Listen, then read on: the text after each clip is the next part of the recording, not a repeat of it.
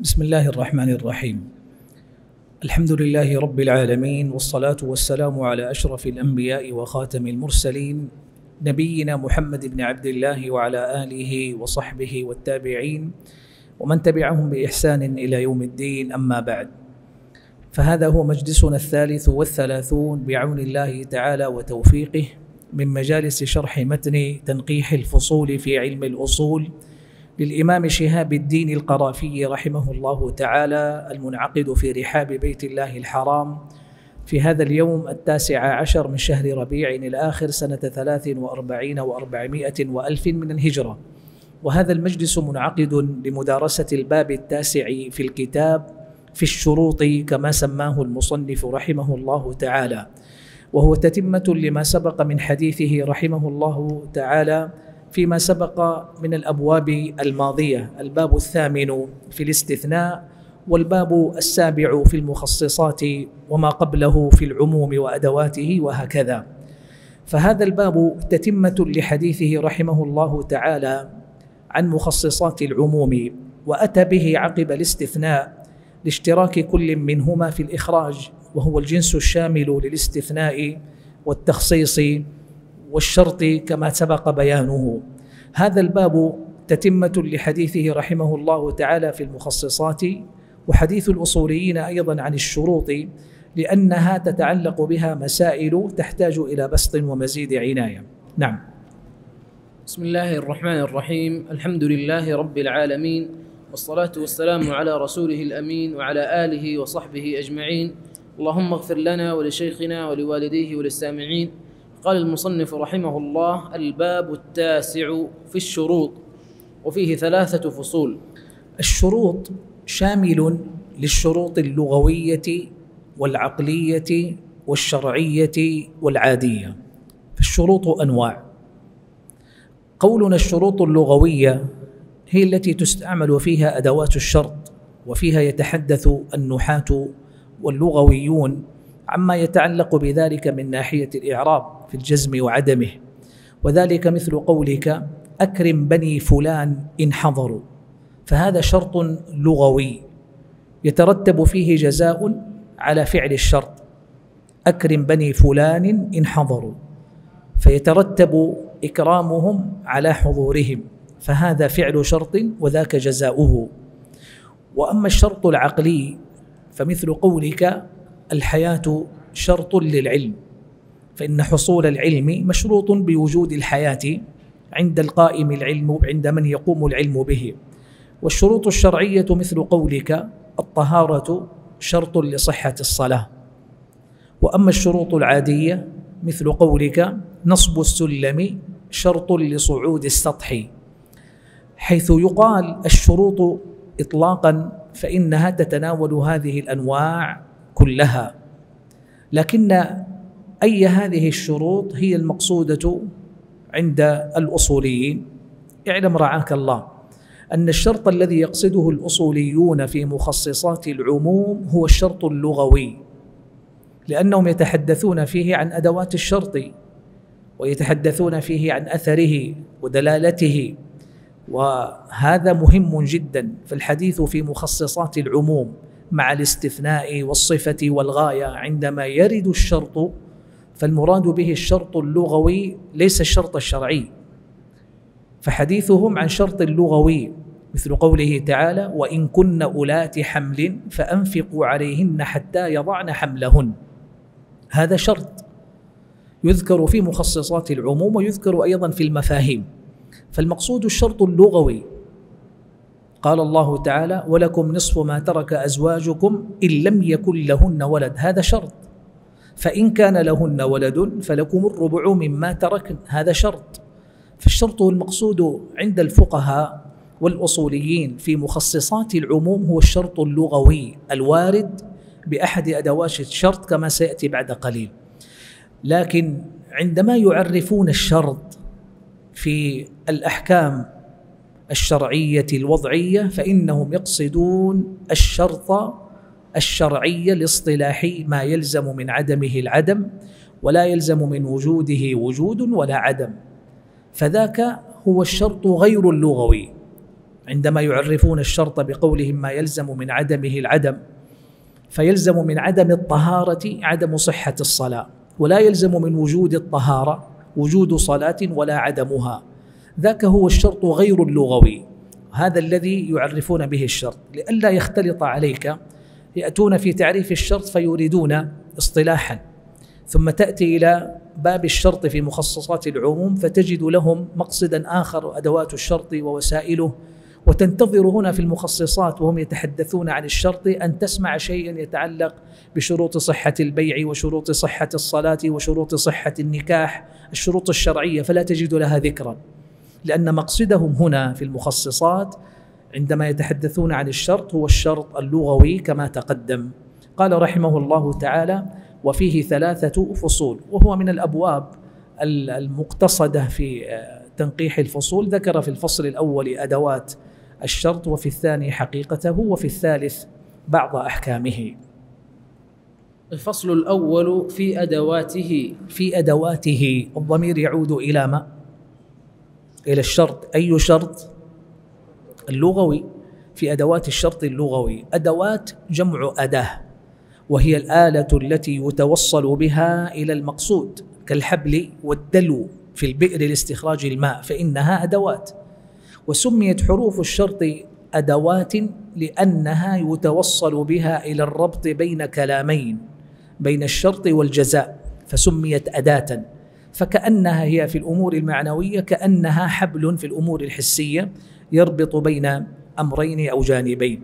قال رحمه الله في أدواته لم يتكلم في هذا الفصل عن جميع أدوات الشرط ولا ألفاظه وصيغه وإن كانت كثيرة لكنه ذكر ثلاثة منها فقط وتحدث عنها بإيجاز. وأما هي فاثنى عشر أداة عند سيبويه أدوات الشرط اثنى عشر أداة عند سيبويه وغيره. قال حرفان إن وإذما. وثلاثة أسماء من وما ومهما. وثلاثة ظروف زمان متى وأيان وإذا في الشعر. وثلاثة ظروف مكان أين وأن وحيثما. قال وواحد متردد بين الاسمية والظرفية المكانية والظرفية الزمانية وهو أي. لأنه بحسب ما يضاف إليه. فإذا أضيف إلى زمان كان شرط زمان تقول أي وقت. وإذا أضيف إلى مكان تقول أي موضع كان أداة مكان. ويقال أي شيء كذلك. وإن لم يضف أصلا أيا ما تدعو فله الأسماء الحسنى فهو اسم. فلهذا عده مترددا بين الاسمية والظرفية الزمانية والظرفية المكانية. فإذا هذه بعض أدواته في هذا الفصل. نعم. وهي إن وإذا ولو وما تضمن معنى إن. قال هي إن. بدأ بإن لأنها حرف شرط هي حرف اتفاقا كما يقول ابن هشام. لكنها الأصل في أدوات الشرط. الأصل في أدوات الشرط إن. ولهذا قال بعدها وما تضمن معنى إن. فالأصل في أدوات الشرط هي إن. وتأتي باقي الأدوات ربما يحتمل بعضها معاني أخر غير الشرطية فتكون إن هي الأصل في أدوات الشرط. إذا هي حرف اتفاقا وهذا أولها. تقول إن تجتهد تنجح. إن تعمل صالحا يكرمك ربك. ونحو هذا كثير وهو مليء في نصوص الكتاب والسنة. وهذه الأداة هي أكثر أدوات الشرط ورودا واستعمالا ودلالة صريحا على الشرط. قال رحمه الله وإذا. إذا مختلف فيها هل هي حرف أو ظرف مكان أو زمان. من معانيها الحال. قال فألقاها فإذا هي حية تسعى فتفيد معنى الحالية. تأتي إذا للمستقبل مضمنة معنى الشرط للمستقبل. تقول إذا جاء نصر الله والفتح ورأيت الناس يدخلون في دين الله أفواجا فسبح. فيأتي جوابها مقترنا بالفاء لأنها تحمل معنى الشرط وإن كانت دلالتها للمستقبل. إذا لا تجزم المضارع. ولا تكون إلا في الأمر المحقق في الشرط على خلاف ما سيذكره المصنف بعد قليل. فتقول إذا طلعت الشمس أتيتك. ولا تقول إن طلعت الشمس أتيتك كما سيأتي بعد قليل ذكر كلام المصنف رحمه الله تعالى فيه. قول الله تعالى إذا زلزلت الأرض زلزالها وأخرجت الأرض أثقالها. هذه إذا تأتي للمستقبل بصيغة الماضي متضمنة معنى الشرط كما تقدم بيانه. أما لو الثالثة في كلام المصنف رحمه الله فمختلف أصلا في كونها شرطا أو ليست شرطا سواء استخدمت في الماضي أو في المستقبل. وقد عدها من حروف الشرط ابن مالك رحمه الله في الألفية والزمخشري في المفصل. قال ابن مالك لو حرف شرط في مضي ويقل إيلاؤه مستقبلا لكن قبل. وكثير من اللغويين والنحاة لا يعدها حرف شرط. وقيل سميت حرف شرط مجازا لشبهها بحرف الشرط ووجه الشبه الربط بين الجملتين لأن حقيقة الشرط كما تقدم ربط مستقبل بمستقبل لا ربط ماض بماض كما تفعله لو. فلو تربط الماضي بالماضي تقول لو استقبلت من أمري ما استدبرت. تقول لو أتيتني لأكرمتك فأنت تربط ماضيا بماض في لو. لكن أدوات الشرط تربط المستقبل بالمستقبل. تقول إن تأتني أكرمك. بخلاف لو تقول لو أتيتني لأكرمتك. و فهي تربط الماضي بالماضي إذن. قال الله تعالى ولو شاء الله لذهب بسمعهم وأبصارهم. كما سيأتي أيضا ذكره بعد قليل في معانيها. قال وما تضمن معنى إن. إذا لأن إن الأصل في أدوات الشرط. قال ما تضمن معناها؟ وقد سمعت أن من أدواتها 12 12 أداة وهي كلها تدل على معنى إن ومعنى إن هو الشرطية والربط بين الجملتين كما تقدم. نعم. فإن تختص بالمشكوك فيه وإذا تدخل على المعلوم والمشكوك ولو تدخل على الماضي بخلافهما. انظر كيف فرق. قال إذا جئت تعبر بالشرط لأمر مستقبل فهذا الشرط المستقبل إما أن يكون مشكوكا يعني محتمل الوقوع ومحتملا لعدم الوقوع بخلاف الشرط المتيقن حقوقه آه، وقوعه أو تحقيقه. فإذا أردت أن تستعمل المشكوك فتعبر بإن وإذا أردت المعلوم والمتيقن فتستخدم إذا. تقول مثلا إن جاء زيد أتيتك لأن مجيئه محتمل. أن يجيء أو لا يجيء فهو مشكوك محتمل فيه. ولا تقل إن طلعت الشمس أتيتك لأن طلوع الشمس متحقق. فهم يفرقون فإذا أردت أن تعبر بالشرط عن أمر متيقن تستخدم إذا. تقول إذا طلعت الشمس فأتني أو أتيتك. وبالعكس تقول في المشكوك فيه إن ولهذا قال فإن تختص بالمشكوك فيه. ولهذا جاءت في كتاب الله الكريم بهذا المعنى إن كنتم في ريب مما نزلنا على عبدنا فأتوا بسورة فإن كنت في شك مما أنزلنا إليك فاسأل الذين يقرؤون الكتاب من قبلك ونحو هذا. قال وإذا تدخل على المعلوم والمشكوك. أفاد هنا أن إذا أوسع فتقول إذا جاء زيد وتقول إذا طلعت الشمس لكن الراجح عند أهل النحو واللغة أن إذا لا تكون إلا في المحقق فتكون مقابلة لإن فتستخدم إن للمشكوك أو المحتمل وتستخدم إذا للمعلوم والمتيقن. قال رحمه الله في التفريق أيضا بين هذه الأدوات ولو تدخل على الماضي بخلافهما لو تتميز عن باقي أدوات الشرط بأنها تدخل على الماضي. لكن باقي أدوات الشرط تدخل على المستقبل وتقدم هذا. تقول إذا جاء تقول إن أتيتني إن تفعل من يفعل مهما آه، أينما تكون فكلها تستخدم في المستقبل ولو تدخل على الماضي. قال بخلافهما يعني بخلاف إن وإذا فإنهما تدخلان على المستقبل ولكن لو تدخل على الماضي. دخولها على الماضي سواء كان ماضيا لفظا ومعنى.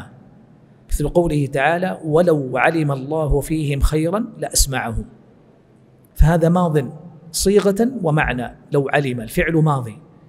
وهو أيضا في المعنى يراد به الماضي. وسواء أيضا كان الفعل ماضيا لفظا ومستقبلا معنى. قال الله تعالى وليخشى الذين لو تركوا من خلفهم. يعني إن تركوا في المستقبل. لكن اللفظ ماضي. لو تركوا من خلفهم. والعكس أن يكون ماضيا معنى مستقبلا لفظا. واعلموا أن فيكم رسول الله. لو يطيعكم في كثير من الأمر لعنتم. تقديره لو أطاعكم في كثير من الأمر لعنتم. إذا لو تدخل على الماضي. سواء كان ماضيا لفظا ومعنى أو كان ماضيا لفظا ومستقبلا معنى أو العكس مستقبلا لفظا وماضيا معنى هذا الفرق بين لو وباقي الأدوات. فلو دخلت إن وغيرها على الماضي فإنه مؤول. إحنا قلنا لو تختص بدخولها على الماضي بخلاف إن وإذا. طب فإذا دخلت إن وإذا على الفعل الماضي قال فإنها تكون مؤولة. مثل قوله تعالى إن كنت قلته فقد علمته. نحن قبل قليل نقول إن أداة الشرط إن لا تدخل على الماضي. طيب ها هي قد دخلت على الماضي. إن كنت قلته فقد علمته. قال السراج معناه إن يثبت في المستقبل أني قلته في الماضي فقد علمته. فهي مؤولة أيضا على وقوع في المستقبل. إذا فالشرط هو ثبوته في المستقبل وإن عبر عنه بالماضي. لو المقصودة هنا في هذا الباب هي لو الشرطية بخلاف لو المصدرية ولو التمني. لو التمني فلو أن لنا كرة فنكون من المؤمنين. هذه ليست شرطية. وكذلك لو المصدرية يود أحدهم لو يعمر ألف سنة بمعنى أن يعمر ألف سنة فهي مصدرية بهذا المعنى. فالمقصود هنا في هذا الباب هي إذا لو الشرطية دون غيرها. نعم. الفصل الثاني في حقيقته وهو الذي يتوقف عليه تأثير المؤثر ويلزم من عدمه العدم ولا يلزم من وجوده وجود ولا عدم. طيب. قال رحمه الله في حقيقته يعني حقيقة الشرط وقد تقدم منه رحمه الله في الباب الأول في التعريفات في الفصل الخامس عشر تحديدا تعريف الشرط هناك بقوله ما يلزم من عدمه العدم ولا يلزم من وجوده وجود ولا عدم هذا تعريفه هناك. طيب ما الفرق؟ أورد التعريف ذاته وأضاف له جملة في الأول. قال هو الذي يتوقف عليه تأثير المؤثر ثم أتى بتعريف الشرط هناك. السؤال هل اختلف تعريف القرافي رحمه الله للشرط هنا عن تعريفه إياه هناك في الفصل الخامس عشر من الباب الأول في التعريفات؟ وهل هذه الإضافة هي معنى زائد أراده في الشرط؟ هل هو اختلاف أم هو إضافة لها دلالة ما هنا؟ الواقع أن التعريف المتقدم هناك وهو الدارج عند الأصوليين هو المعتبر ما يلزم من عدمه العدم ولا يلزم من وجوده وجود ولا عدم. كما نقول في الطهارة وهي شرط لصحة الصلاة يلزم من عدمها العدم. فيلزم من عدم الطهارة عدم صحة الصلاة. ولا يلزم من وجود الطهارة ممكن يتوضأ شخص ولا يلزم منه أن يصلي. ولا يلزم منه عدم الصلاة لوجود مانع آخر. فهذا التعريف هو المحقق والذي عليه الأكثر. فلما عدل عنه المصنف أو أضاف هذه الجملة الواقع أنه أتى بالجملة التي قررها القرافي رحمه قررها الرازي رحمه الله في المحصول. فإن الرازي لما عرف الشرط هنا قال هو الذي يتوقف عليه تأثير المؤثر واكتفى به ورأى القرافي أن الجملة غير وافية وأن التعريف ليس جامعا ولا مانعا. فماذا صنع القرافي؟ كمل التعريف بقيود الشرط الواردة في تعريفه هناك. فقال هو الذي يتوقف عليه تأثير المؤثر. ما معنى يتوقف عليه تأثير المؤثر؟ الحول مثلا. يتوقف عليه تأثير النصاب في إيجاب الزكاة. ملك النصاب سبب. لكن حولان الحول شرط. فكون النصاب سببا في وجوب الزكاة لم يحصل تأثير هذا السبب في المسبب إلا بوجود الشرط. فالشرط إذا توقف عليه تأثير المؤثر. ما المؤثر؟ السبب. فتوقف تأثير السبب على وجود الشرط. وكذلك تقول البلوغ هو شرط. يتوقف عليه تأثير المؤثر. مثلا زوال الشمس سبب في وجوب صلاة الظهر. لكن لو زالت الشمس وهو غير بالغ ما أثر الوجوب. فإذا وجود البلوغ وهو شرط كان متوقفا عليه تأثير المؤثر لكنه غير جامع. فيدخل فيه الشرط الذي يكون لأصل ذات السبب ووجوده لا لتأثيره. كما تقول الفروج شرط في وجود الزنا. فهذا شرط بمعنى أن المقصود أصل ذات السبب الذي هو مثلا الزنا فهو سبب للحد. لكن شرط أصل ذات السبب أصل ذات السبب وهو الشرط المقصود به في الاستعمال هنا هو الفرج أو وجود الفروج المحرمة. فصار هذا شرطا متوقف عليه تأثير المؤثر لكن ما دخل في التعريف. وأيضا قد يكون شرطا وليس مؤثرا مثل ما قولنا في الشروط العقلية الحياة شرط العلم. فإنها أيضا آه، ليست كذلك. فأراد القرافي أن يضيف على عبارة الرازي ما يحترز به عن ذاك ويضيف إليه هذا. فأتى بقيود الشرط هناك يلزم من عدمه العدم ولا يلزم من وجوده وجود ولا عدم. ثم قال هو القرافي رحمه الله في شرحه قال فبقيت هذه الزيادة مضمومة في الكلام وهو غير جيد. هو القرافي نفسه في الشرح. رأى أنه أراد تعديل عبارة القرافي فأضاف هذا فلا هو بالذي سلم له التعريف ولا هو بالذي أبقاه بلا الجملة الأولى. قال رحمه الله فبقيت هذه الزيادة مضمومة في الكلام. أي زيادة يقصد؟ جملة ما يتوقف عليه تأثير المؤثر. قال وهو غير جيد بسبب أن قيد الرازي يلزم وجوده في جميع الشروط وهو غير لازم. فبقي الكلام باطلا واستقر على تعريفه للشرط ما يلزم من عدمه العدم ولا يلزم من وجوده وجود ولا عدم فعدل عنه وترك رحمه الله تعالى هذا الكلام السابق في عبارة الرازي بعدما قرره هنا. نعم وهو الذي وهو الذي يتوقف عليه تأثير المؤثر ويلزم من عدمه العدم ولا يلزم من وجوده وجود ولا عدم. قرر القرافي رحمه الله في النفائس في شرحه على المحصول أن الشروط اللغوية هي المقصودة كما تقدم قبل قليل. الشروط الحديث عنها في المخصصات هي الشروط اللغوية يعني المستخدم فيها أدوات الشرط إن وأخواتها. والشروط اللغوية أسباب في حقيقتها أسباب. تقول إن دخلت الدار فأنت طالق. هو شرط لغوي لكن هو في حقيقته سبب. يترتب عليه وقوع المسبب يعني إذا حصل الدخول حصل الطلاق.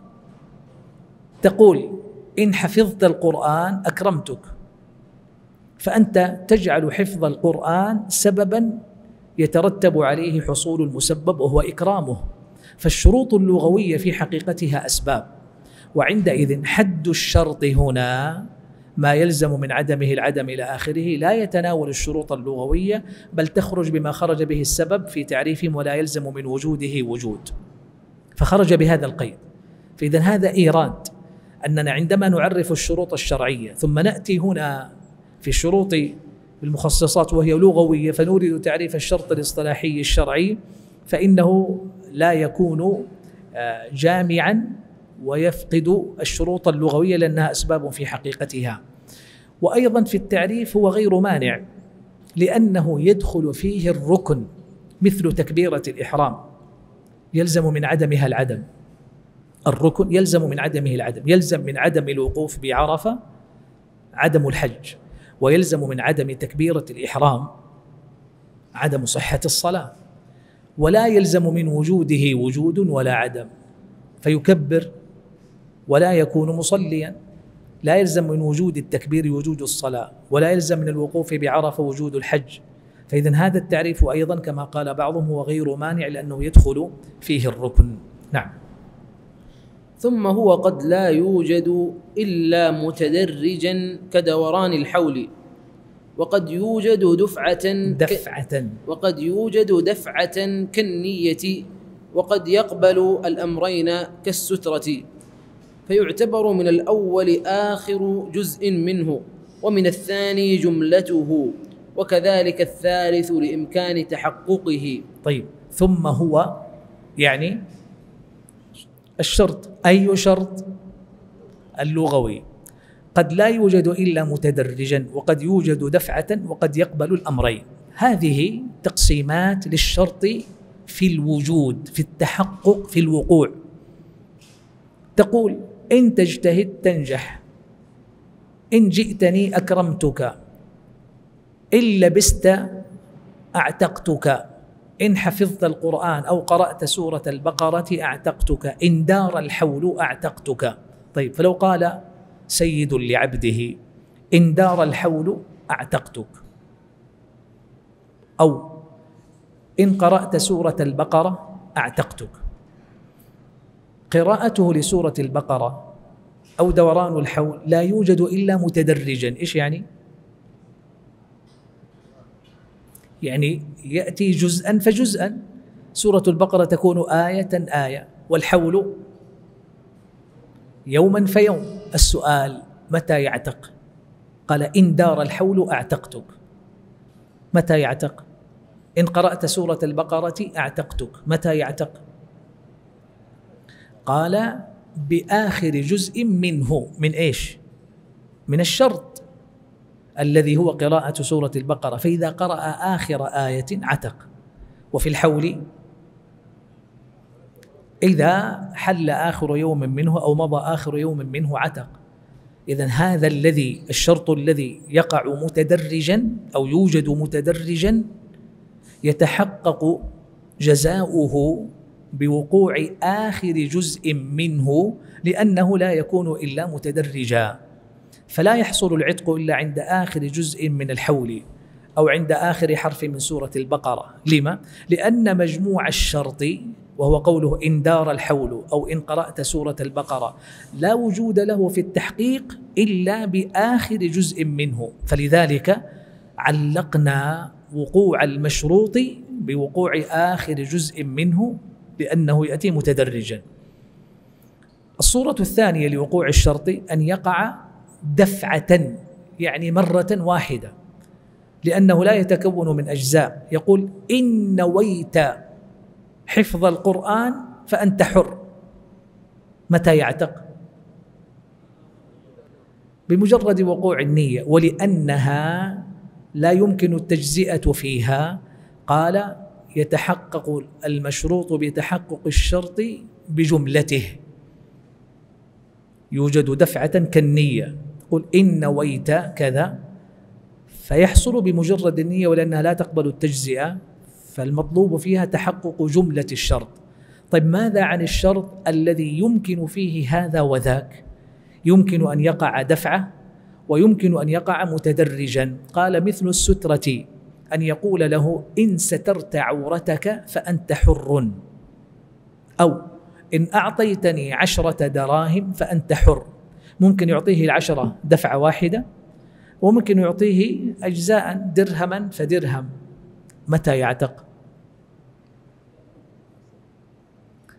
الشرط الذي يمكن أن يقع دفعة ويمكن أن يقع متدرجا. هل نلحقه بالمتدرج أو نلحقه بالواقع دفعة واحدة. نعم نلحقه بالمتدرج بوقوع آخر جزء منه لأنه يعني لو أعطاه العشرة عتق. ولو أعطاه متفرقة فإذا تم آخر درهم منه عتق. قول إن سترت عورتك فإنه قد يسترها دفعة بلباس واحد وقد يستر شيئا فشيئا أو قطعة من اللباس بعد قطعة فلا يحصل إلا بعد تمامها. قال رحمه الله ثم هو يعني الشرط. قد لا يوجد إلا متدرجا كدوران الحول. قد يوجد دفعة كالنية وقد يقبل الأمرين كالسترة. فيعتبر من الأول الذي يوجد متدرجا آخر جزء منه. ما معنى قوله يعتبر؟ يعتبر تأثير الشرط في وقوع المشروط يعني يتحقق الجزاء في الشرط بتحقق أو بوقوع آخر جزء منه. ومن الثاني الذي يوجد دفعة جملته كالنية. قال وكذلك الثالث يعني لا بد من وقوع جملته لإمكان تحققه يعني لإمكان أن يقع فيه ما يقع فيما لا يوجد إلا دفعة كالنية. فإذا المعتبر حصول جميع الشرط كذلك لأنه يمكن حصوله دفعة قال لإمكان تحققه.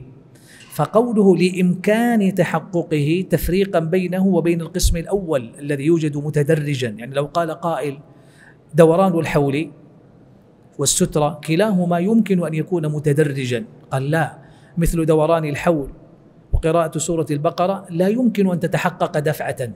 يعني لا يوجد فيها إلا صورة التدرج. لا يمكن أن يكون الحول لحظة ولا يمكن أن تكون قراءة سورة البقرة أيضا في كلمة. فهذه تلك الصورة في القسم الأول لا يكون إلا متدرجا.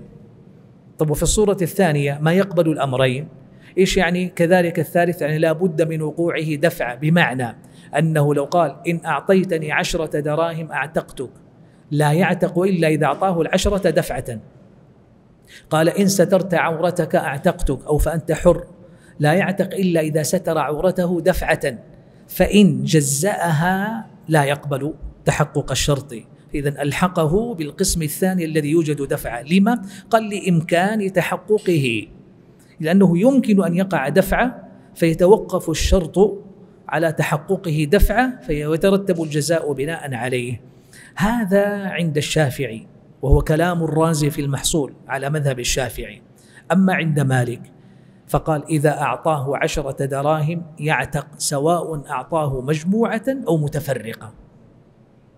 عرفت الفرق؟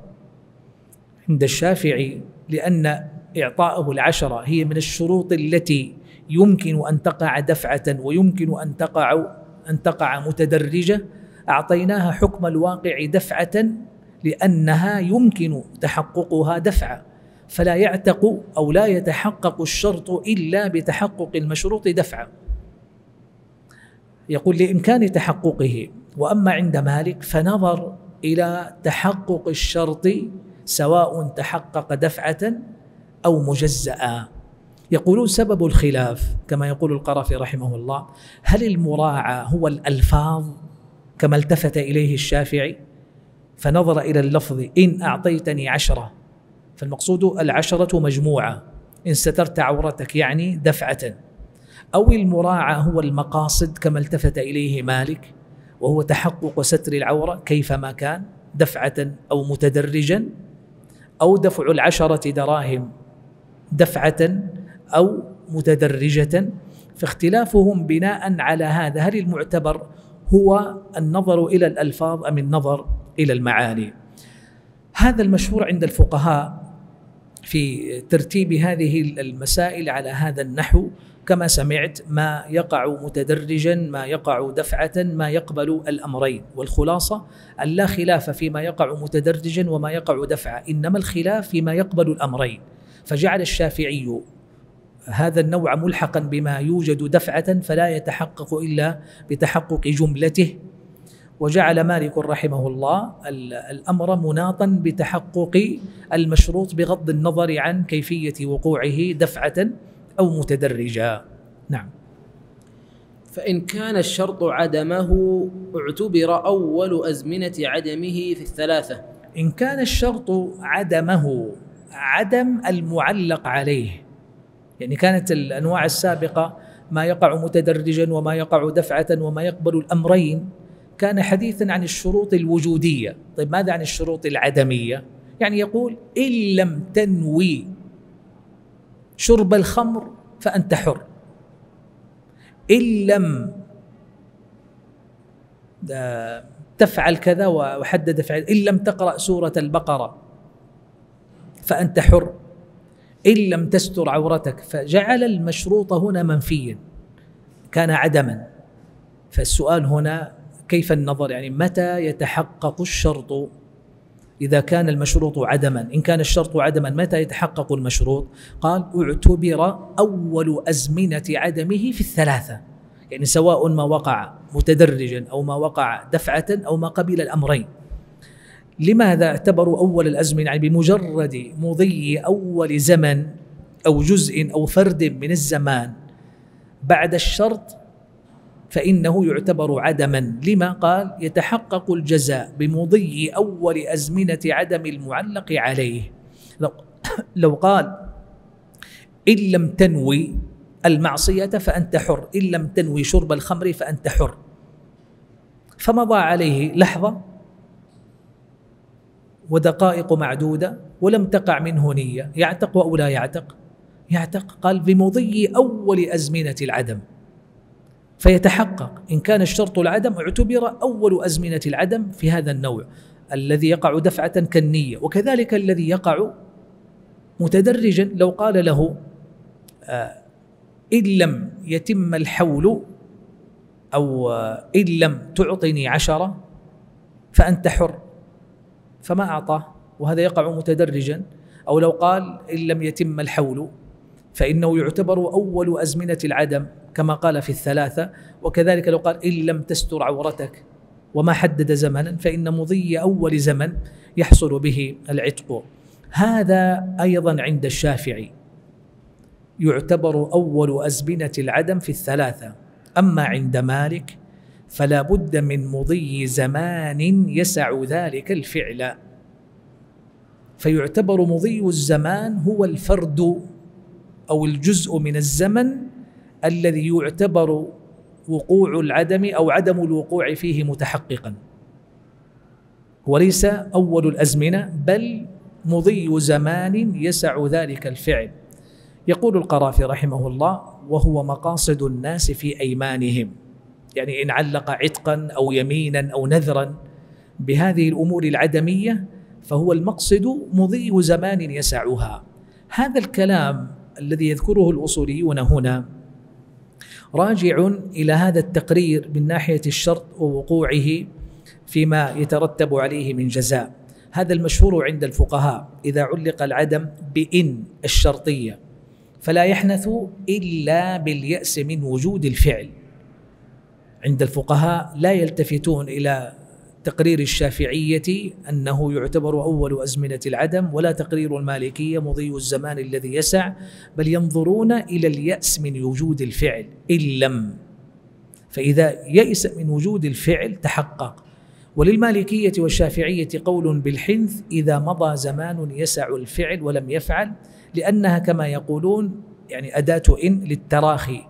وفي غيرها من أدوات الشرط يحنث بالفور كما عند بعض الحنفية والشافعية. فهذا كله عائد إلى مقاصد الناس في أيمانهم كما يقول القرافي رحمه الله تعالى. مقاصد الناس في أيمانهم وما دلت عليه العوائد. يقول إن لم أنوي إن لم يتم الحول وأنت في المنزل إن لم تقرأ سورة البقرة فأنت حر ونحو هذا كلها. يقولون سبب ذلك في التقرير الأصولي اعتبر أول أزمنة العدم لأن المعتبر آه، هو مطلق العدم وهو متحقق في أول الأزمنة. وهذا كما قلت لك تقرير الشافعي وما تقرير مالك فلا بد من مضي زمن يسعه والله أعلم. أحسن الله إليكم. الفصل الثالث في حكمه إذا رتب مشروط على شرطين لا يحصل إلا عند حصولهما إن كان على الجمع وإن كان على البدل حصل عند أحدهما وإلى المعلق تعيينه لأن الحاصل أن الشرط هو المشترك بينهما. في حكمه هذا الفصل الثالث من هذا الباب التاسع والضمير يعود إلى الشرط أيضا وذكر في هذا الفصل أربع أو خمس مسائل من مسائل الشرط الأصولية. ابتدأ رحمه الله تعالى بتعدد تعدد الشروط. إذا رتب مشروط على شرطين. لأن الشرط إما أن يتحد وإما أن يتعدد. تقول إن حفظت القرآن أكرمتك. الشرط هنا واحد وهو حفظ القرآن. وقد يتعدد. تقول مثلا إن حفظت القرآن ونجحت في الاختبار أكرمتك. فالشرط تعدد. جعل الشرطين آه، شرطا للإكرام فلا يتحقق الإكرام إلا بالشرطين. هذان الشرطان إذا تعدد الشرط إما أن يكون على سبيل البدل أو على سبيل الجمع. تقول إن حفظت القرآن ونجحت في الاختبار أكرمتك. هذا تعدد الشرط على سبيل الجمع. بخلاف قولك إن حفظت القرآن أو نجحت في الاختبار أكرمتك. فهذا تعدد الشرط على سبيل البدل. طيب سؤال. إذا اتحد الشرط فالأمر واضح. إن تحقق الشرط تحقق الجزاء أو المشروط. طيب فإذا تعدد الشرط متى يتحقق الجزاء؟ إن كان على سبيل الجمع فلا بد من اجتماعهما وإن كان على سبيل البدل فيكفي أحدهما. قال إن حفظت القرآن أو نجحت في الاختبار زوجتك. فمتى يزوجه بتحقق أحدهما. ولا يشترط تعيين أحدهما. هذا إذا تعدد الشرط. طيب وأحيانا يأتي التعدد في المشروط في الجزاء وليس في الشرط. تقول مثلا إن حفظت القرآن كافأتك وزوجتك. فجعل المشروط هنا وليس الشرط جعل المشروط هنا شيئين مكافأته وتزويجه فإذا حفظ القرآن ماذا يستحق؟ كلا الأمرين المجموعين طيب فإذا كان على سبيل البدل قال إن حفظت القرآن زوجتك أو كافأتك فحفظ القرآن ماذا يستحق؟ أحدهما أيهما؟ أحدهما على الإبهام ويتوقف على تعيين المعلق المتكلم هو الذي يعين أحد المشروطين. طيب اذا عندنا الشرط له ثلاث صور إما الشرط إما أن يتحد وإما أن يتعدد على سبيل الجمع أو يتعدد على سبيل البدل. والمشروط كذلك إما أن يتحد وإما أن يتعدد على سبيل الجمع وإما أن يتعدد على سبيل البدل. فكم مجموع الصور؟ ما تجمع. تسعة. ثلاثة في ثلاثة. لأنه تقول يتحد الشرط ويتحد المشروط يتحد الشرط ويتعدد المشروط على سبيل البدل يتحد الشرط ويتعدد المشروط على سبيل الجمع وقل مثل ذلك في كل واحد. فالمجموع تسع صور. وهذا كله واضح فيه. لكن ذكرت لك هذا حتى تميز معي خللا في العبارة سنمر بها بعد قليل في كلام القرافي هنا رحمه الله. لكن من اللطيف لأن الفقهاء بناء على هذا التركيب بين تعدد الشرط وتعدد المشروط ذكروا مسألة لو قال الرجل لزوجتيه إن دخلتما الدار فأنتما طالقتان. متى يقع الطلاق؟ إن دخلتا معا طلقتا معا. فإن دخلت إحداهما فاختلفوا في تصوير المسألة وتقرير هذه القاعدة بناء عليها. قيل تطلقان معا لأنها وقوع الشرط أو وقوع المشروط على إحداهما مرتبط بالأخرى. وقيل لا تطلق واحدة منهما وقيل تطلق الداخلة فقط. ثلاثة أقوال وبناء على تخريج هذه الصور. هل هو نظر إلى الجمع فتطلقان أو على البدل فتطلق واحدة منهما إلى آخره؟ ولهم في هذا كلام تخريجا على هذا الأصل. قال رحمه الله إذا رتب مشروط على شرطين ركز معي. الكلام الآن هل هو على تعدد الشرط أم تعدد المشروط؟ الشرط إذا ترتب أو رتب مشروط على شرطين. مثل ماذا؟ إن نجحت وحفظت القرآن أكرمتك فتعدد الشرط. طيب إذا تعدد الشرط فإن كان على سبيل الجمع متى يحصل الجزاء؟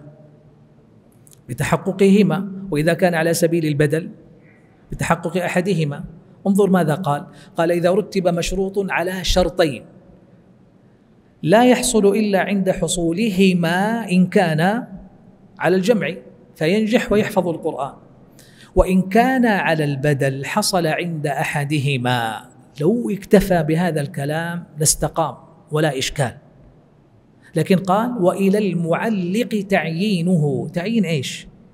تعيين أحد البدلين في الشرطين. هو قال إن حفظت القرآن أو نجحت أكرمتك.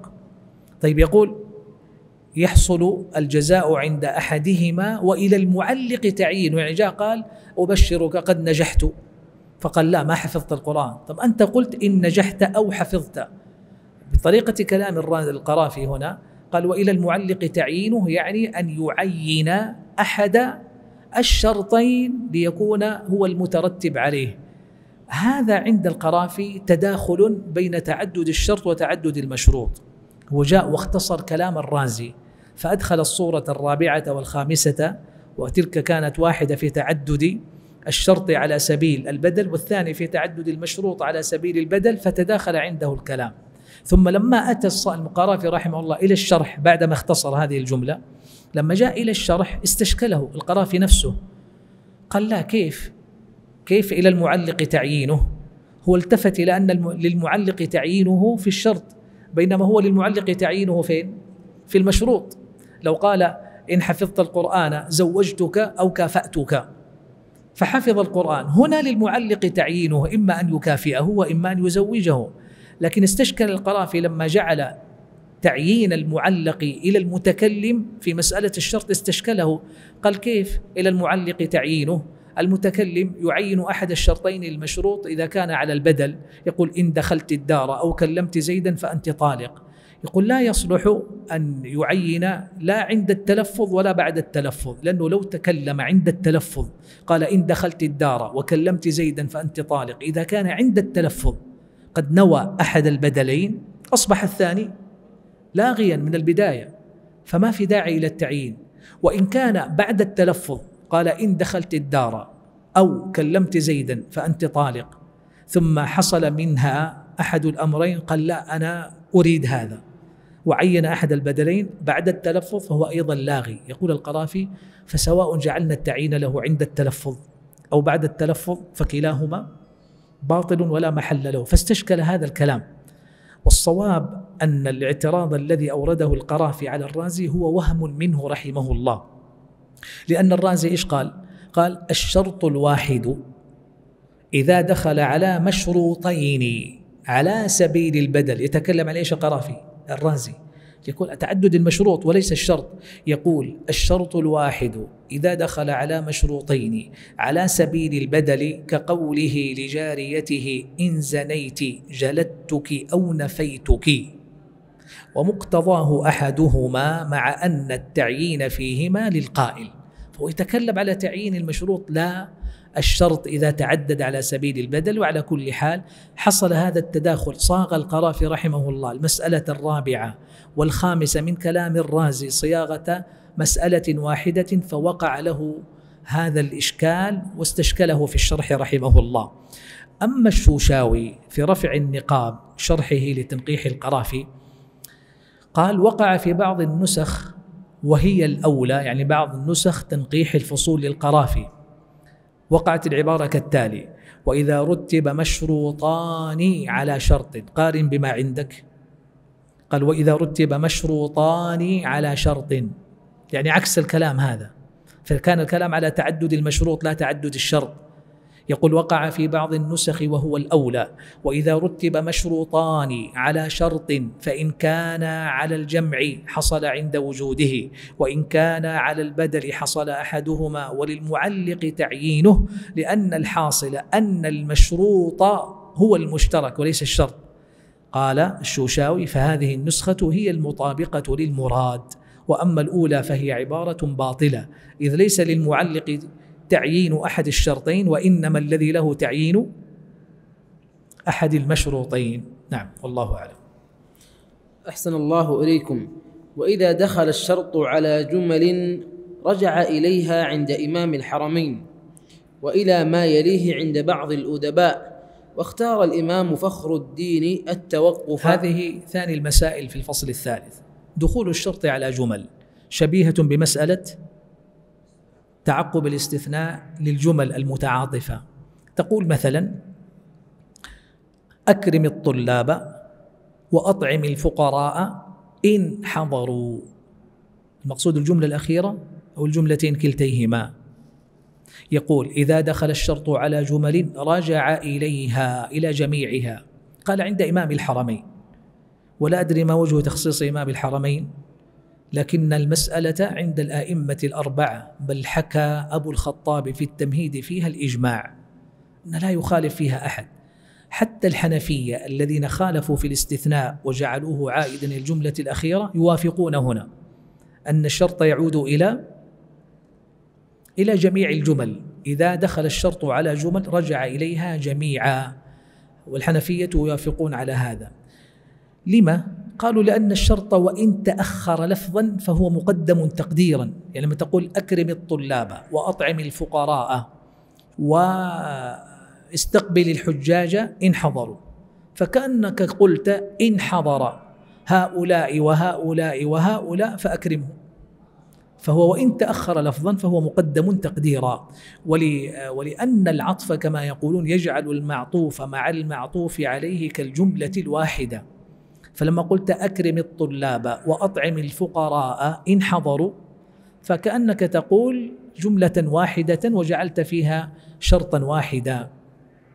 ولأنك لو أردت يعني لو جعلنا الشرط لا يقع إلا على الجملة التي تليه فما السبيل إذا أردت تكرار الشرط للجمل المعطوفة؟ تحتاج إلى تكرار الشرط تقول أكرم الطلاب إن حضروا وأطعم الفقراء إن حضروا واستقبل الحجاج إن حضروا قالوا هذا ركاكة في الكلام. ولا يكون إلا بجمع الجمل المتعاطفة بشرط واحد فجملة أدلة قالوا وقياسا على الاستثناء كذلك. الاستثناء عند الجمهور يعود إلى الجمل المتعاطفة قالوا قياسا عليه بل هو أولى من الاستثناء. ليش؟ قالوا لأن الشرط تخصيص والاستثناء إخراج من الكلام. فالشرط هو تأكيد على المعنى لكنه مخصص بما يشترطه والاستثناء إخراج من الكلام.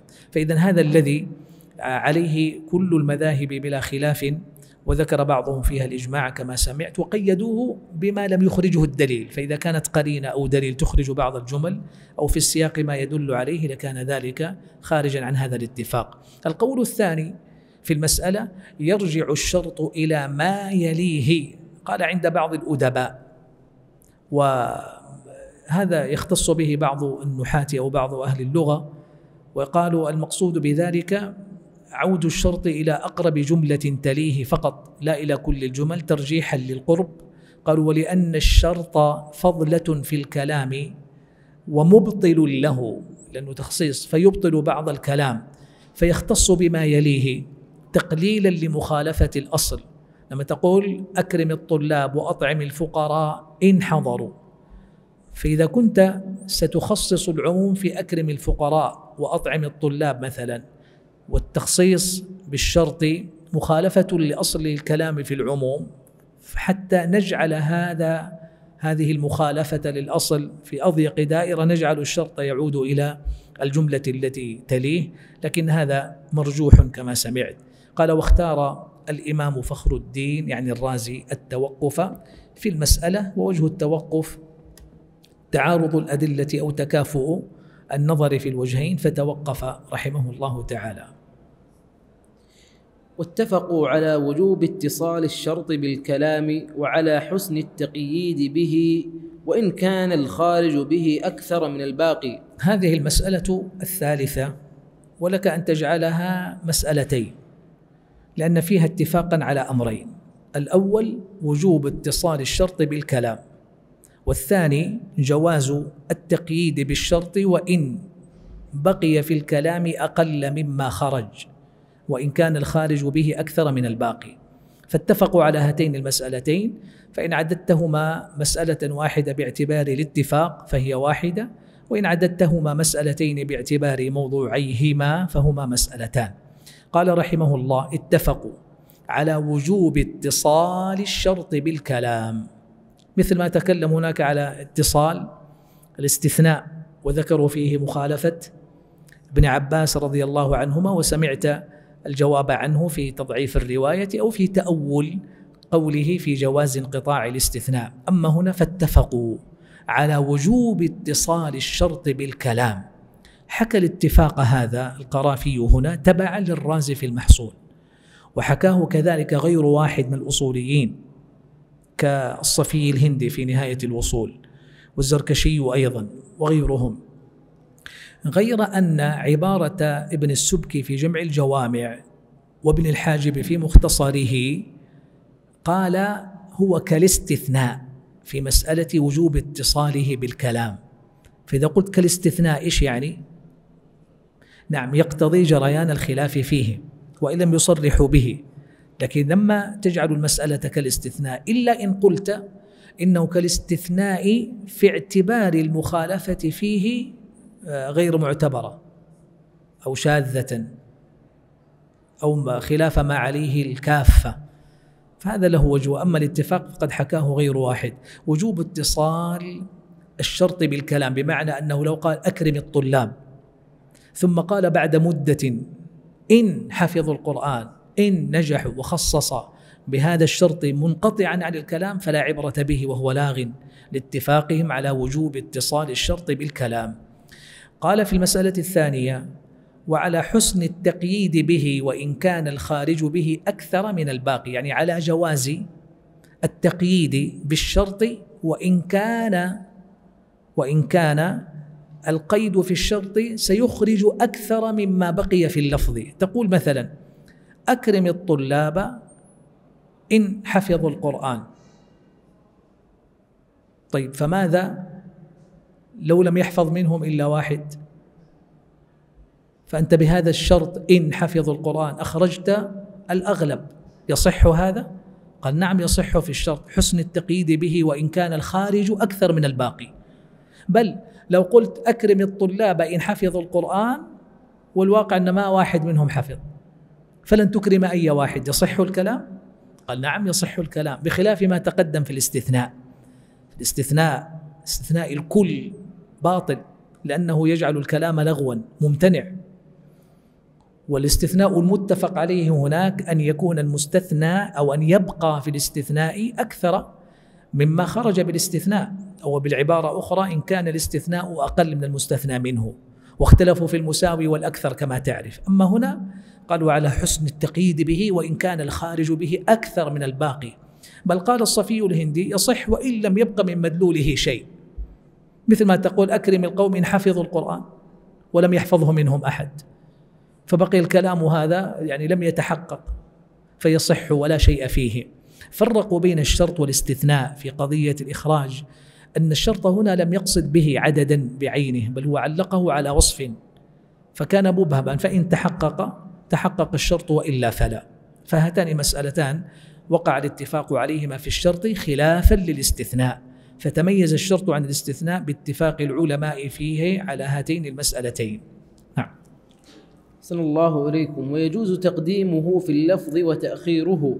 واختار الإمام تقديمه خلافا للفراء جمعا بين التقدم الطبعي والوضعي. يجوز تقديمه يعني الشرط في اللفظ وتأخيره.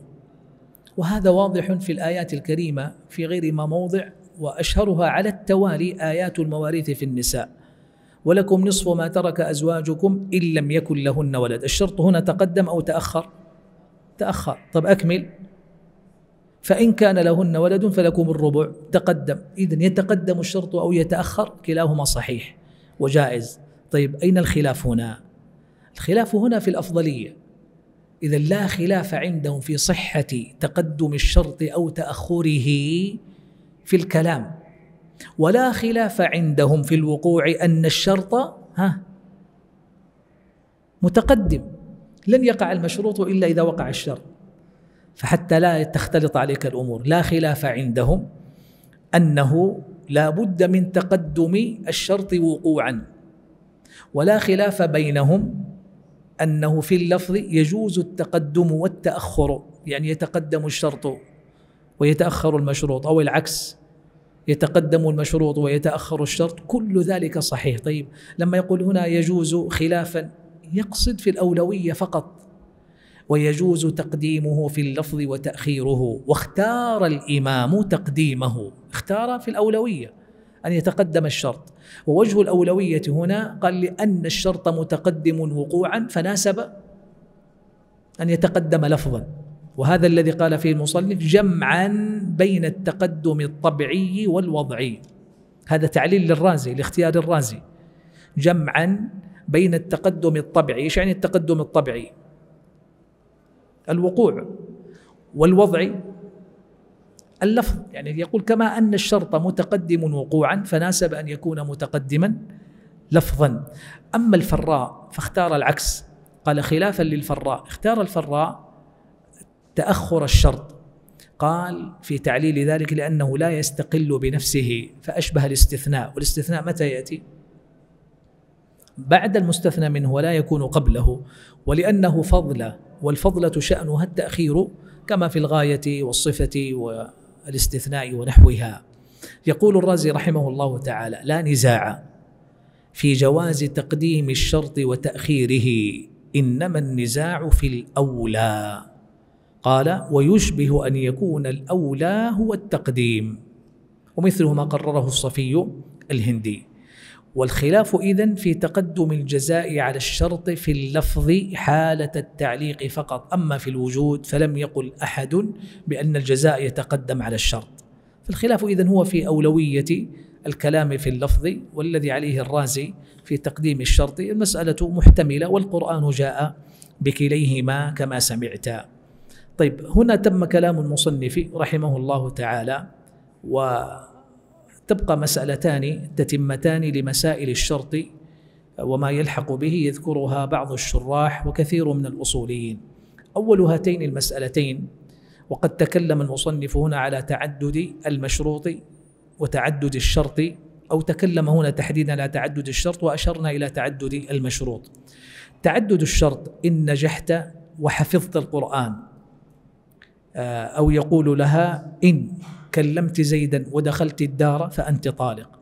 ماذا لو عطف الشرط على الشرط بغير حرف عطف؟ فتعدد فيتعدد الشرط متتابعا بغير حرف عطف. تقول آه، يقول لها إن دخلت الدار إن كلمت زيدا فأنت طالق.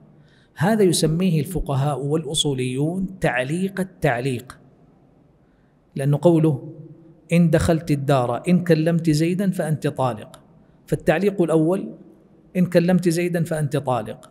هذا معلق بتعليق آخر إن دخلت الدار فيسمونه تعليق التعليق ويسميه النحاة شرط الشرط أو دخول الشرط على الشرط. مثل إن حفظت القرآن إن رجعت من السفر أكرمتك. فما حكمه؟ عند مالك رحمه الله هو كالتعليق بالعطف. يعني كأنك قلت إن حفظت القرآن وإن رجعت من السفر أكرمتك. فما المطلوب؟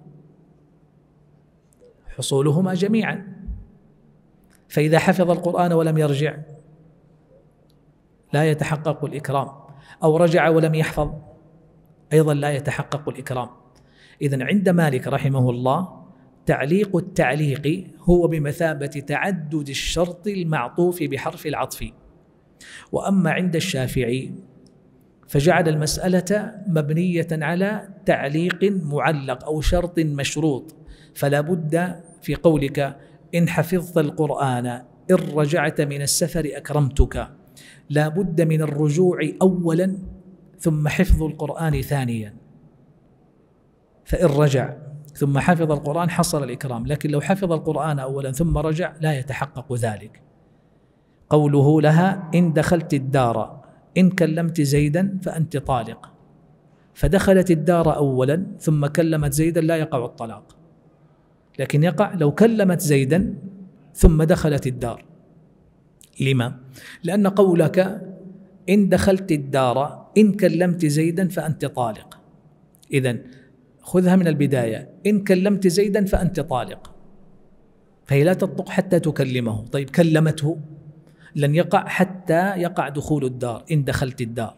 فلو دخلت الدار أولا ثم كلمته صدق عليها أنها كلمته لكن ما وقع بعده دخول الدار فلا يقع الطلاق. فيسمون هذا تعليق التعليق. والضابط أنه يكون المؤخر في اللفظ مقدما في الوقوع.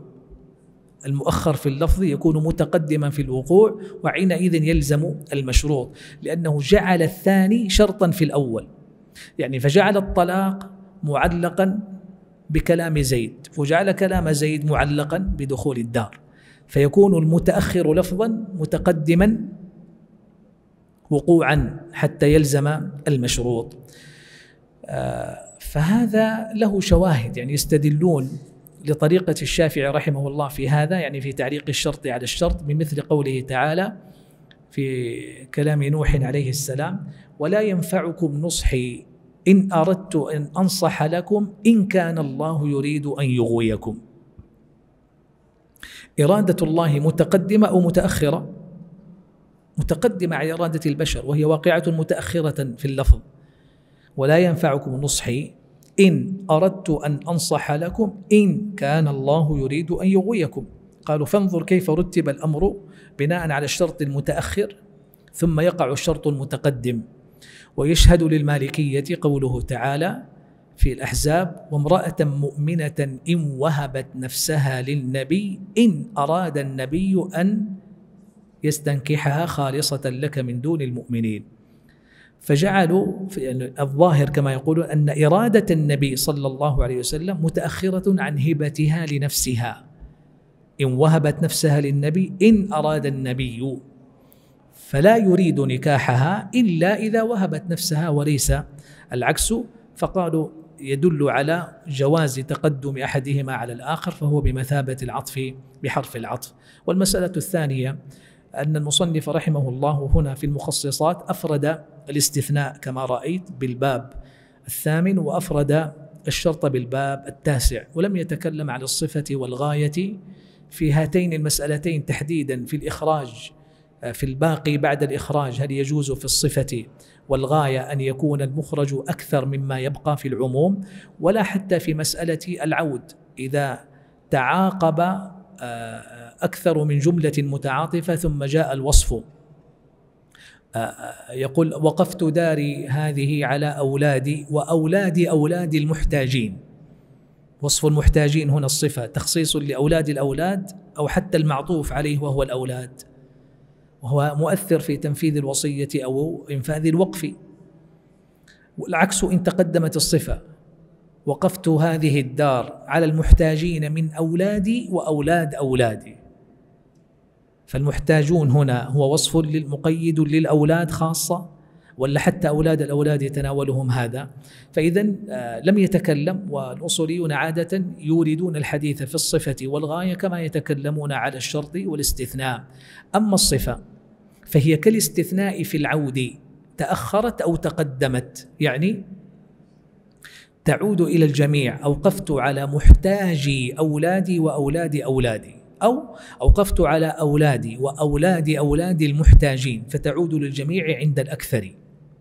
ولذلك قلنا هي كالاستثناء. أما الغاية فهي كالاستثناء في العود. وقفت على أولادي وأولاد أولادي حتى يستغنوا. طب حتى يستغنوا هذه غاية أو إلى أن يستغنوا خاص بآخر جملة أولاد الأولاد أو حتى المعطوف عليه هو أيضا يرجع للجميع عند الأكثر.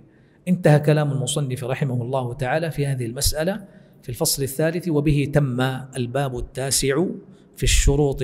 والحمد لله أولا وآخرا. درسنا القادم إن شاء الله تعالى في الباب العاشر في المطلق والمقيد. نسأل الله تعالى لنا ولكم العلم النافع والعمل الصالح.